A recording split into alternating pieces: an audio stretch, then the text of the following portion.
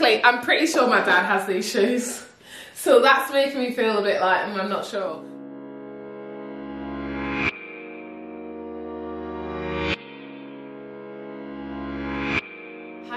Welcome back to my channel, Mothering in Style, where I share my love for fashion, beauty, lifestyle, and bring you along on my motherhood journey. If you're new here, my name's Ajoa, and if not, thank you so much for tuning in to another video. So today's video is a bit of a fusion of an autumn winter haul and an autumn winter trends video. And that's because I've picked up a few things recently that when I was going through them, they really fit into categories of some of the key trends that are coming off for autumn winter. So I thought I'll share things with you and also talk through some of the trends that you can expect to see this coming season. Obviously, you don't have to buy into trends.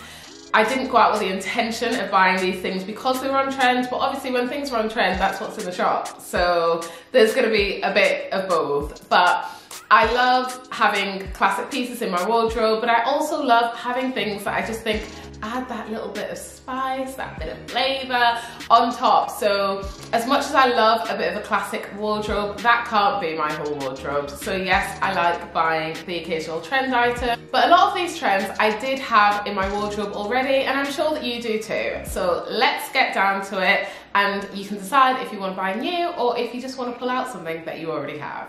The first trend is metallics, and this is something that we've seen coming through since spring summer. There's really been this nod towards kind of the extra and the over the top and the more flamboyant, the better, and that's where feathers fit in and embellishments. But definitely, there's a lot of metallics still coming through. Obviously, for an autumn winter season with Christmas coming, it's perfect and it will always lend itself more to that. And the catwalks that are happening at the moment confirm this even more. But the hero of the metallics trend is definitely silver. And when it comes to jewelry, I am 100% wearing gold. It will always be gold, but silver is the biggest trend. This is something that I picked up recently. This shirt is from H&M and I, this wasn't even in a prominent place in the store. It was like in the back, in a corner, and I just happened to be passing it and I was like, ooh, that is really nice. So I just bought this last week and I looked online and there's also a dress version of this, which I will link down below. So even though I'm more into gold jewelry, I think from a clothing perspective, I can definitely incorporate this into my wardrobe. I love that it's in a shirt because even though it's kind of a more dressy material, it's in a more casual shape. So I feel like that will allow me to style it in lots of different ways. But let's try it on.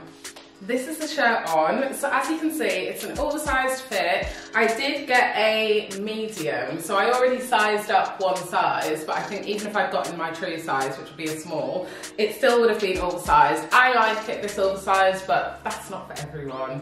So bear that in mind. But it's a really lovely high shine material.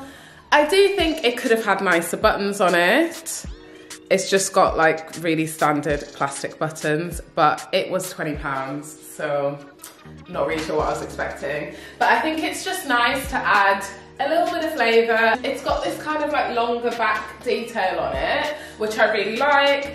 Obviously, I think I can wear it with denim like this. I think it will look great with leather. I've styled it with a leather skirt already. I will insert for you to see, um, but leather trousers as well. And because it has these splits at the side, that makes it really easy if you want to do a tie front, you can easily do, though I do think it's a little bit bulky. You can definitely do a few different styling options with this. And obviously your other option is just to leave it open Actually, let's do that. I'll put a little crop top on and let's leave it open. Okay, so this is it open. So I've just put a little um, crop top underneath. And again, with the jeans, I think it would look great with leather trousers, which I've got coming up.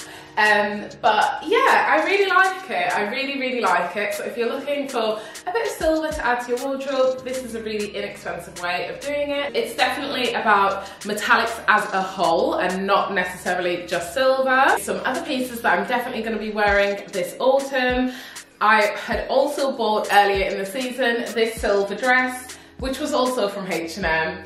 Um, if you follow me on Instagram, you literally saw this a million times because I styled it so many different ways. Again, I'll insert so that you can see, but this was a great dress, is a great dress to style up, style down, really adds a bit of extra to my wardrobe. The only thing I will say is that this did snag very badly. And then also this top, which is also from H&M, but it's a diamante detail top and I've only worn this once I think since I bought it. It's got kind of a chainmail look to it which I really like but I did buy it in February and it was going into spring so I think it was kind of a hard time to style it as much but definitely for autumn I'm going to be wearing this loads so go into your wardrobe see what you already have and you may find some gems that fit into this trend really really well and pull those out and as I mentioned, it's about metallics as a whole. I think silver is the hero of it, but definitely metallics is gonna continue to be a, a huge trend for the whole season. So also to mention, this dress, this is from River Island. It's like a gold, bronze, kind of lame material. You see how that literally looks like liquid gold? That's what caught my eye. It, it is just so fluid and so shiny it's way shinier than this and it's so eye-catching. I just think this is such a stunning piece. Um, this is recent, this is new. I will link this down below as well, but it's a great option for like an autumn wedding or even with just party season as a whole coming up. This is perfect for that. The second trend that I want to talk about is leather. And leather is always on trend for autumn winter. It's not anything new, let's face it. But I definitely feel like this season there is a huge steer towards leather and it applies to all categories across the board. So leather jackets, leather blazers, leather skirts, leather shorts, leather tops.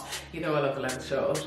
But what I want to talk about is leather trousers. And I feel like where we've been before on this is more of a leather legging or a skinny kind of trouser in a leather look that is really where, I think historically where the leather trouser has always been. But now I think what's coming through, and I don't think this is 100% new because it was definitely there last year as well, is more of a true trouser in leather or a leather look. So a five pocket jean with all the details, a button, a fly, rather than a pull on legging and with a slightly wider cuff at the hem. So these ones I picked up in Abercrombie. This is my first ever purchase from Abercrombie, never ordered from there before. I got these in a size 27 and I got them in long, which is where I really struggled last year. I couldn't find anything in my size because I could get these in a long that really helped me to get the length that I need so, so this is them on so as you can see they've got a full five pocket They've got a fly, a proper button, and they're more just like a jean or a trouser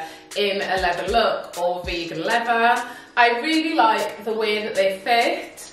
I think I probably could have gone down a size to be honest. I think I probably could have gotten a 26 waist because I didn't really account for the fact that the leather is really stretchy. Really, really nice fit. I like that they're snug, but they're not super tight and they're really comfortable. Like, I could actually sleep in these. They're so comfortable. And I think this is a bit of a look with the shirt or I can tie the shirt up a bit. Yeah, so I can definitely, I can definitely tie the shirt up a bit to wear with this or I can tuck it in. And what I love about this, which I can't remember if I already said, but because it's got those side slits, if you tuck the front, you've still got this length at the back. I think that's really flattering. But yeah, I love the trousers. Obviously, if you were a bit more blessed in the boot department, they would look even better, but that's what I got. In terms of leather, some of the items I already had in my wardrobe, which you may also have in yours and you just need to dig out, are leather blazers. I really like a leather blazer. I think it's a great way of finishing an outfit and it's a nice alternative to wearing a standard blazer all the time. Another thing that's definitely coming through in terms of leather is brown, kind of tan, chocolates, those types of shades, caramels. I think they're a really nice alternative to wearing black all the time. This is actually from last year, this is from River Island. I will look for options for all of these to link in the description box below. And then I also bought this one last year, this was from Zara. Other items that I also had in leather that I love are obviously my leather shorts. You guys know I absolutely love a leather short. So these are just my fave and I get so much wear out of them. And then also leather skirts both in a mini length, and a midi length. This one, again, is from River Island. I feel like I shop at all the same stores.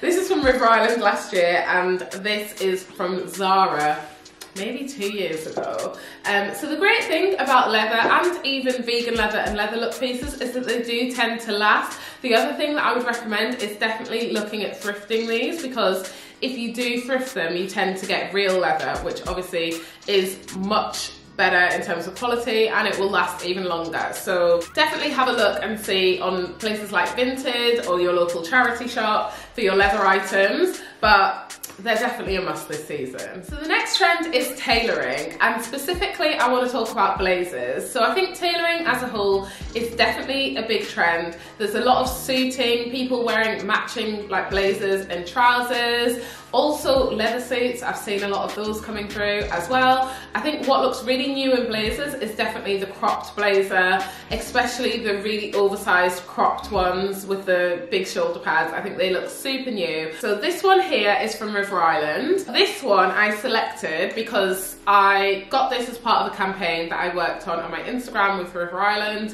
Um, and I picked this because this is a lot more structured than the black blazer that I have. So I have a standard kind of oversized black blazer, but this is more tailored and it has a bit more of a nipped in waist. It's got the contrast buttons. It's just a slightly more elevated blazer with a slightly bigger shoulder pad as well. So I will try that on for you now. What I love about this is really the shape that it gives and it's giving the Balenciaga hourglass on a budget. That really is what it is. And I do have this blazer or a very similar blazer from River Island that has the same contour shaping to it in two other colours. So I'm a real fan of these. I just think it looks so elevated. It really looks expensive. It's not super expensive, but it gives that shape of the nipped in waist and then curves out at the hips, which I just think is a really flattering silhouette for pretty much anyone. What do you think? Let me know in the comments, but I definitely think tailoring as a whole is such an important trend, and there's something about, especially a blazer that just finishes an outfit. I could talk about blazers all day. So as you can see with the leather trousers, just as a bit of a black on black moment, I really, really like it. Obviously, we like a bit of colour, we like to add in a splash of colour, but sometimes black on black is just the vibe. Like sometimes that is the vibe. And I think this executes this really nicely. You need blazer. I don't know what else to say, but it, I just think it gives such a nice shade. I absolutely love it. So whilst I'm sure you already have a blazer in your wardrobe, if you are looking to add in a new one for the season, Again, look at thrifting. I think blazers are probably one of the best items that you can buy on the thrift market, but also check out your man's wardrobe because that's what I did. This blazer was one that my husband was getting rid of because it was an old suit of his that he no longer wanted. And I don't have a dark grey blazer, I wear my black one a lot, but I don't have anything really in grey. So I stole this from him. I stole the whole suit actually, I took the trousers as well. I think men's blazers have such a nice fit to them if you like an oversized look. And this one, I really like wearing it just with the sleeves rolled up. Again, it's got a bit of a bigger shoulder pad in it because it's a men's blazer and that's what I love about it. So have a look if you can get into your boyfriend, your husband, your dad's wardrobe to have a little hunt for a blazer, I would definitely recommend it. Men's blazers are unmatched, to be honest. If you like an oversized fit, a men's blazer is where it's at. The next trend is also within the outerwear category and that is bomber jackets. And these are really coming through thick and fast. I feel like I'm seeing them all over Instagram. A lot of people are wearing them. Quilted jackets have been around for a while now and obviously the Frankie Shop one is the most viral one by far. But I think there's a real return of the true bomber and I don't actually have any of these. I have quilted jackets but I don't really have any bombers. Um, and I used to have them like years ago and they do feel a bit youthful to me but what I am liking is this one that I've got from In The Style. This is in a khaki colour and I really like that it's khaki. Um, I just think it adds a little bit of lightness to my wardrobe and it's just something a bit different. And then also from there, this varsity jacket. Now this one is part of something that I was working on on Instagram. I do feel like it's a little bit youthful Um, I selected it, but now, I don't know, I'm kind of on the fence about it. So let me know how you're feeling about varsity jackets in general. But I definitely feel like a bomber jacket is just a classic jacket shape that has been around forever. I used to wear them quite a lot and I did get rid of them. But I feel like they were too small, so I think that's a, good reason to have gotten rid of them. But they're definitely coming back. This one has kind of become my nursery run jacket and just my casual like chuck on jacket that's easy to wear. It goes with pretty much everything and I really like the shape of it. Again, I went up a size because I like things a bit oversized, as we all know. To me, it's not too oversized, but it's just got that little bit extra room in it. It's got a high-low hem that kind of steps out a bit at the back. And it's just a great chuck on jacket. I think that's what's nice about a bomber jacket. It's a great casual jacket and this one still feels not too casual in my opinion. If a bomber jacket is a jacket that you love, that you already have in your wardrobe, is really leaning into your style, then this season it's for you and pull it back out, get it back on. It's a great jacket to just wear in a really casual way and that's how I'm gonna be wearing mine. Moving on to my final trend, This is this the final one?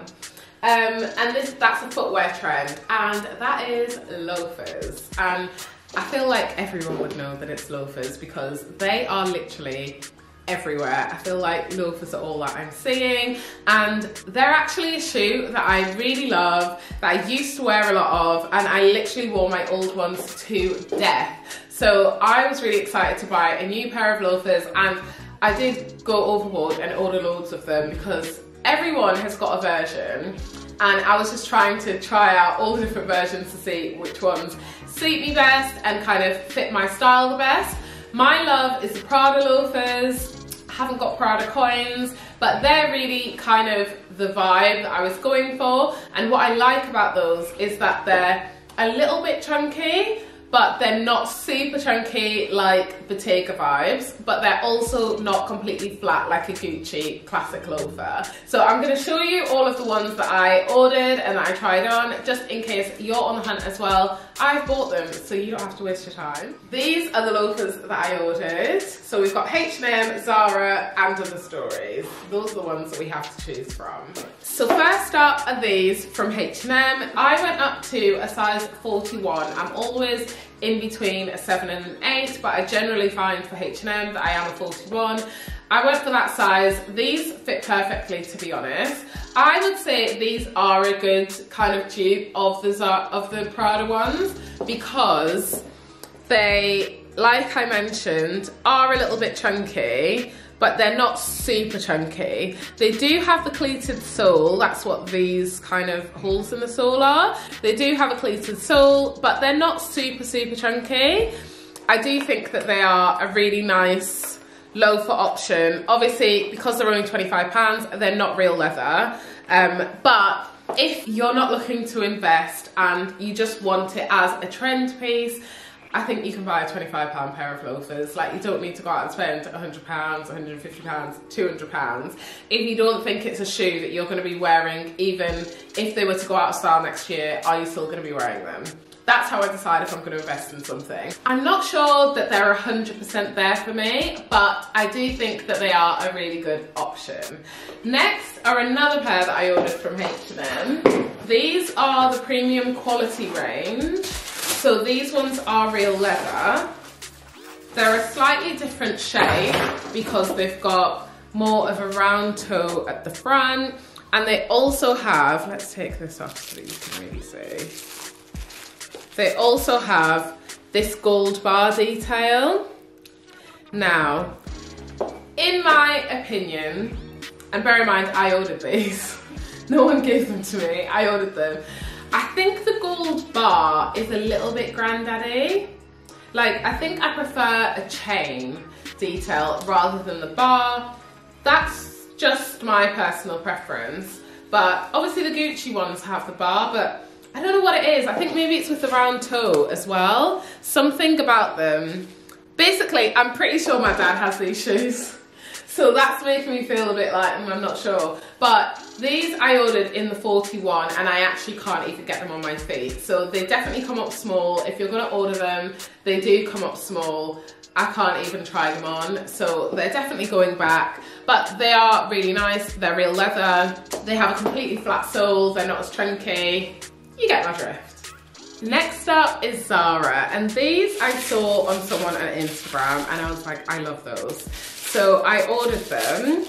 I did actually try these on in store, and I tried them on in the 40, and they just felt this a little bit snug. Just, are they real leather? I'm not sure.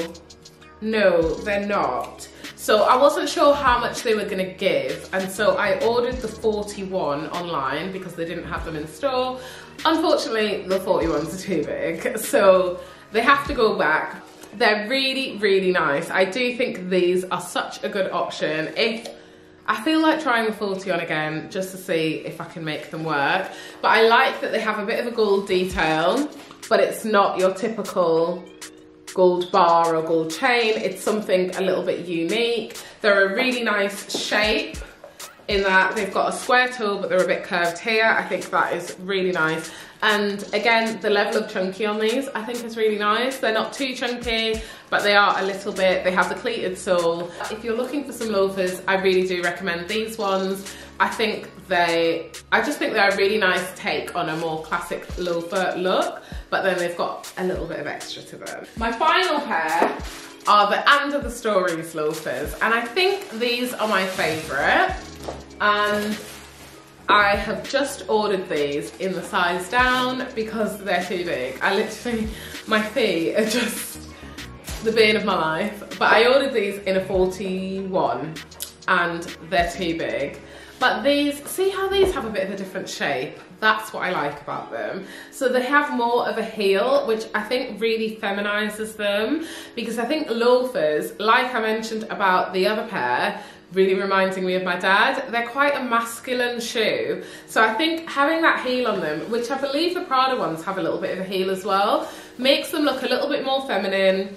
These aren't super chunky and they have a slightly more pointed toe, kind of a rounded point on the toe, which again, I think all of those things make them feel quite feminine.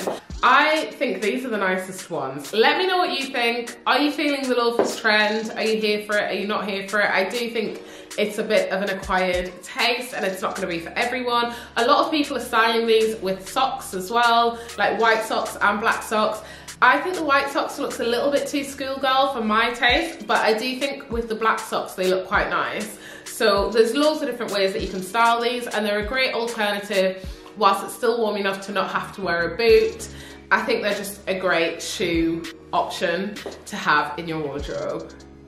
So which of these trends can you really see yourself wearing this autumn winter? Do you already have them? Do you feel inclined to go out and buy them? Do you have to have them? Let me know in the comments down below. I think my favorite is the metallic trend and I really think I'm gonna be wearing that. I'll try to incorporate it as much as possible into my outfits for the season ahead. If you enjoyed this video, please do Give me a like, subscribe. If you've made it this far, then you know you've got to subscribe. I make videos like this about fashion, lifestyle, some beauty, every week. Your girl's trying to do every week. So I would really appreciate your support in trying to grow this channel and this community. If you enjoyed the video, drop me a little comment below so that I can thank you for watching and I would love to see you join the family. Take care. Bye.